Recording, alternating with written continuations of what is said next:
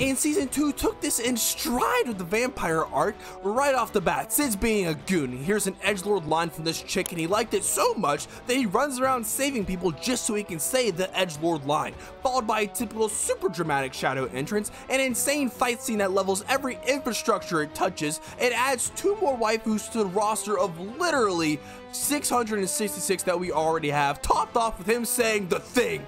What could have possibly gone wrong in season 2? He quit. He literally quit Shadow Guard, and that's what could have gone wrong.